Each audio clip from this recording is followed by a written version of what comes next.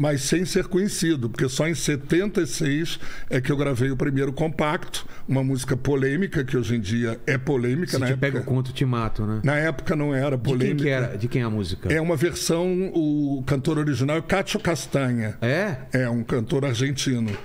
A versão original quer dizer o, o- em espanhol. Em espanhol. E a versão feita aqui no Brasil foi feita, se eu não me engano, pelo Sebastião Ferreira.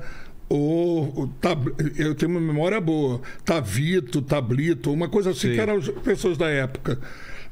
E aí gravei essa música e ela foi a primeira polêmica no sentido de ah, uma música cafona, é uma música é, brega, é uma música passional e blá, blá blá blá.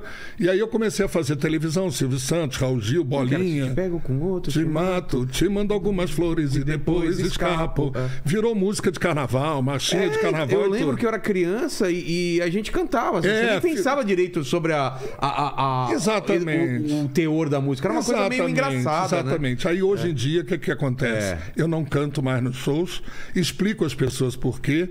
Porque eu recebi pela internet uma mensagem com uma foto hiper desagradável de uma mulher morta Nossa. e o agradecimento a mim pela música Se Te Agarro com Outro Te Mato.